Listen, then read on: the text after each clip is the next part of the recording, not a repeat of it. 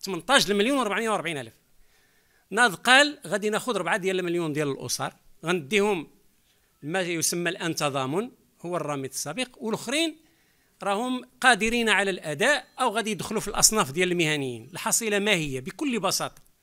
كانوا 18 مليون و440 ألف اليوم الذي يستفيد واللي عنده حقوق مفتوحة حقيقية هو 10 المليون ونص.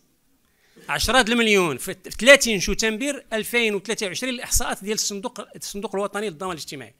10.23 اللي دخلوا في الفئة ديال التضامن و266 ألف ديال المهنيين. لأنه سجلوهما بطريقة إدارية 27% ما تيخلصوش و13% الحق هي اللي حقوق مفتوحة. إذا دابا السيد رئيس الحكومة قال لك غادي يجيدنا غيوصلنا ل 22 مليون ما خلناش ديك 18 المليون. 8 المليون من المغاربة في منزله بين المنزلتين. قال لهم أنتم قادين تشتركوا ما قادينش يشتركوا.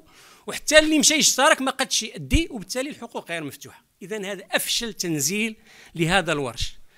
وزاد أيضا هاد 18 ديال المليون و440 ألف اللي كانوا تيستافدوا من الرميد من النظام المجاني شحال الدولة كانت تتحمل عليهم؟ الميزانية ديال الدولة كانت تتحمل عليهم جوج ديال المليار ديال الدرهم.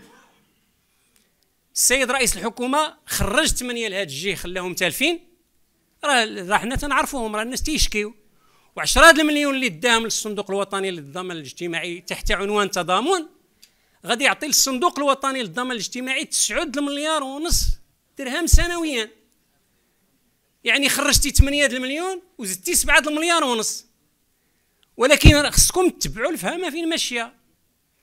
هذا الشيء ماشي لواحد القطاع صحي ليبرالي متوحش جالس تيخرب في البلاد. ما تنتكلمش على المصحات العادية ما تنتكلمش على العيادات ما تنتكلمش على القطاع الصحي العادي تنتكلم على واحد جوج المخلوقات اللي هما جالسين طالقين رجليهم في, في البلاد والعباد.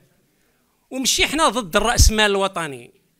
حنا ضد أنه هذا سيخرب المستشفى العمومي والصحة العمومية لأن خص يكون تكامل. بين القطاع الصحي العمومي والقطاع الصحي الخاص. الآن الذي يجري هو تخريب المستشفى العمومي لفائدة فئة محدودة جدا ومحسوبة على أقل من رؤوس يعني يد وحدة.